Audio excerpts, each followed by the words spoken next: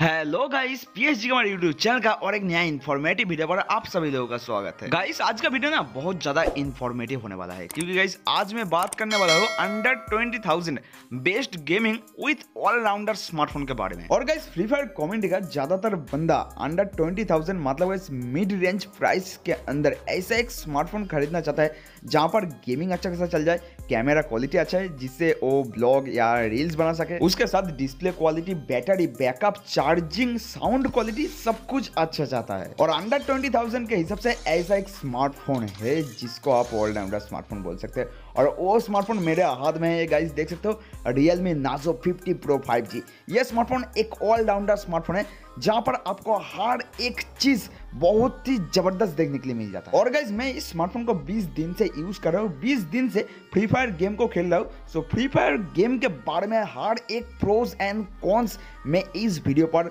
आप लोगों को दिखाऊँगा।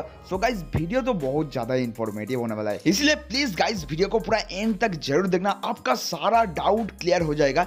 इस फ़ोन के बारे में। और गाइज़ बहुत सारे बंदा बोलता है, भाई डिस्प्ले के ऊपर तुम्हारा फेस रिपील हो गया। सो मेरा फेस रिपील पहले हो चुका है। मैं मेरा सेकंड चैनल के ऊपर मेरा फेस रिपील कर दिया। सो मेरा सेकंड चैनल का लिंक नीचे डिस्क्रिप्शन पर या मेरा चैनल पेज के अंदर आपको देखने के लिए मिल जाएगा। सो चैनल के अंदर जाके मेरा सेकंड चैनल को भी ज़रूर सब्सक्राइब कर लेना। और वहाँ पर गाइस मैं इस स्मार्टफ़ोन के मदद से ही डेली ब्लॉग वीडियो बनाता हूँ। सो मेरा सेकंड चैनल के ऊपर आपको Realme Narzo fifty pro five smartphone का कैमरा क्वालिटी के बारे में भी अंदाज़ा लग जाएगा। इसलिए गाइस मेरा सेकंड चैनल को एक बार ज़रूर चेकआउट कर सकते हो। अभी गाइस इस ऑलराउंडर स्मार्टफ़ोन के अंदर गेमिंग परफॉर्मेंस को देखते हैं। Free Fire game max graphics के ऊपर कैसे चलता है।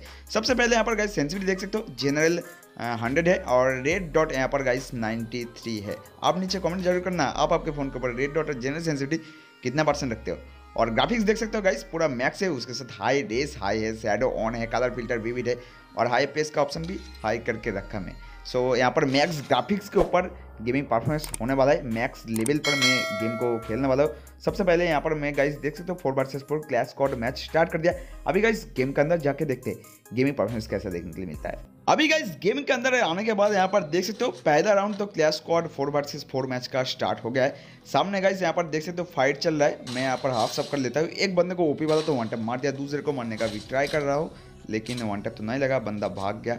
और मेरा किल भी चोरी हो गया। सामने और एक बंदा था, इसको भी भाई ओपी वाला हेडशॉट मार दिया। सो बैक टू बैक यहाँ पर तो गई दो बंदों के यहाँ पर हेडशॉट मार दिया। लास्ट एनिमी बचा है, देखते गई वो एनिमी कहाँ पर है। और बहुत ज़्यादा ढूँढने के बाद भी गाइस वो एनिमी मेरे को नहीं मिला। मेरा टीममेट ही उसको ख़त्म कर दिया, देख सकते हो। और दो हेडशॉट के साथ पहला राउंड तो हम जीत गए। पहला राउंड के बाद, अभी भाई सेंसिटिविटी की बात करते हैं, क्योंकि बहुत सारे बंदा पूछता है, भाई सेंसिटिविटी कैसा है? हेडशॉट लगता है क्या नहीं? हाँ भाई हेडशॉट तो बहुत ही बढ़िया तरीके से लग जाता है।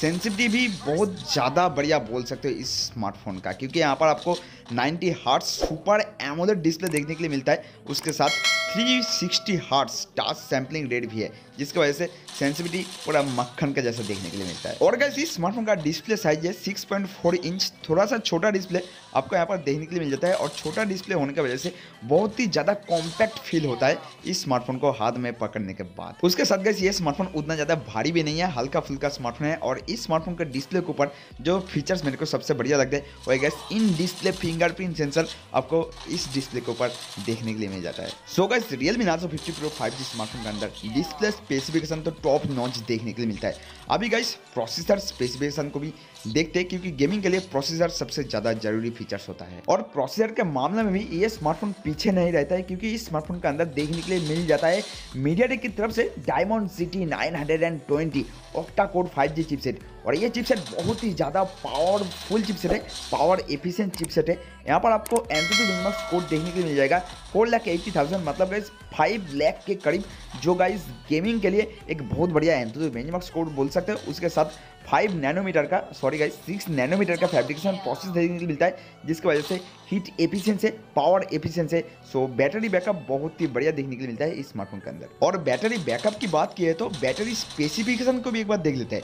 इस स्मार्टफ़ोन के अंदर आपको देखने के लिए गाइस मिल जाएगा फाइव थाउज़ेंड का एक massive lithium ion polymer battery और इस मैसिव बैटरी को चार्ज करने के लिए बॉक्स के अंदर ही गाइस 33 वॉट का चार्जर देखने के लिए मिलता है। अभी के टाइम पर गाइस हर एक स्मार्टफ़ोन बैट चार्जर को हटा रहा है, लेकिन इस स्मार्टफ़ोन के अंदर आउट ऑफ़ द बॉक्स आपको 33 वॉट का फास्ट एडाप्टर देखने के लिए मिल जाता है, जो गाइस एक बहुत ही बेहतरीन फीचर बोल सकते हो। सो गाइस अब तक मैं आप लोगों को इस स्मार्टफ़ोन का जो जो फीचर्स बोला, हर एक फीचर्स प्राइस रेंज के हिसाब से बहुत ही ज़बरदस्त है। नेक्स्ट फीचर्स है गाइस इस स्मार्टफ़ोन का कैमरा स्पेसिफिकेशन कैमरा स्पेसिफिकेशन के मामले में यह स्मार्टफ़ोन पीछे नहीं रहता है।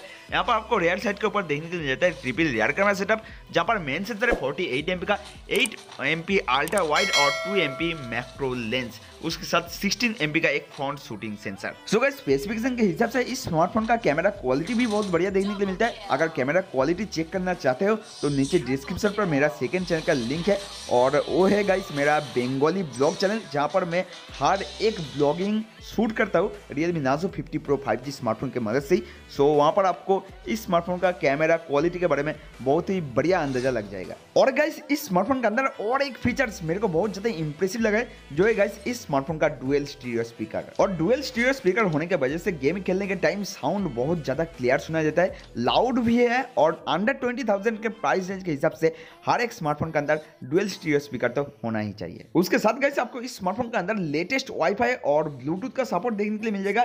पाँच फाइव जी बैंड से और फोर जी प्लस का सपोर्ट भी देखने के लिए मिल जाता है जो गाइस बहुत ही बेहतरीन फीचर है। So guys Realme Narzo 50 pro 5G smartphone under 20,000 एक बैलेंस स्मार्टफ़ोन बोल सकते हो जहाँ पर camera specification battery specification gaming features भी बहुत बढ़िया देखने को मिलता है। और गेमिंग परफॉर्मेंस की बात करें तो गाइस यहाँ पर clash squad four versus four match के अंदर थोड़ा सा भी लैग्स या फ्लेम ड्रॉप्स देखने के लिए नहीं मिला है। उसके साथ हेडशॉट भी अच्छा खासा लग जाता है। मतलब सेंसिटिविटी टॉप नॉच है 90 हार्ट्स सुपर एमुलर डिस्प्ले की वजह से सेंसिटिविटी बहुत बढ़िया देखने को मिल जाता है और 360 sixty hertz touch sampling rate भी है, जिसकी वजह से गाइज़ इस स्मार्टफ़ोन के अंदर गेम खेलने पर तो मज़ा आ जाता है। लेकिन गाइज़ गेम खेलने के टाइम एक प्रॉब्लम मेरे को इस स्मार्टफ़ोन के अंदर फेस करना पड़ा, जो है गाइज़ कलेक्शन पैक डिलीट का इशू इस स्मार्टफ़ोन के अंदर है।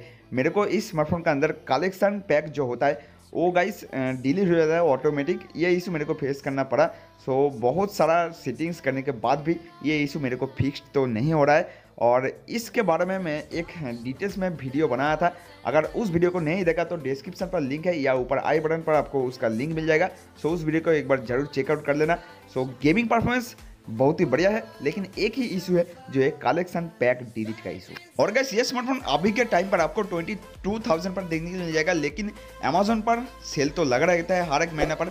सो आ, सेल के अंदर ये स्मार्टफ़ोन मेरे को मिला था सिर्फ़ और सिर्फ़ फिफ्टीन थाउज़ेंड प्राइस पर। लेकिन आपको सेल के अंदर ये स्मार्टफ़ोन अभी के टाइम पर सत्रह से अठारह हज़ार के अंदर देखने के लिए मिल जाएगा। सो so गाइस कोई भी सेल के लिए थोड़ा सा वेट कर जाना और ट्वेंटी टू थाउज़ेंड पर ये स्मार्टफ़ोन उतना ज़्यादा वैल्यू फॉर मनी प्रोवाइड नहीं करता है। सो so अगर ये स्मार्टफ़ोन सत्रह हज़ार, अठारह हज़ार के अंदर देखने के मिल जाएगा तो बेस्ट वैल्यू फॉर मनी बोल सकते हो इस स्मार्टफ़ोन को। सो so गाइस आज के वीडियो पर इतना ही। मिलती है और एक नया इन्फॉर्मेटिव वीडियो को लेकर। तब तक ले गए बाय बाय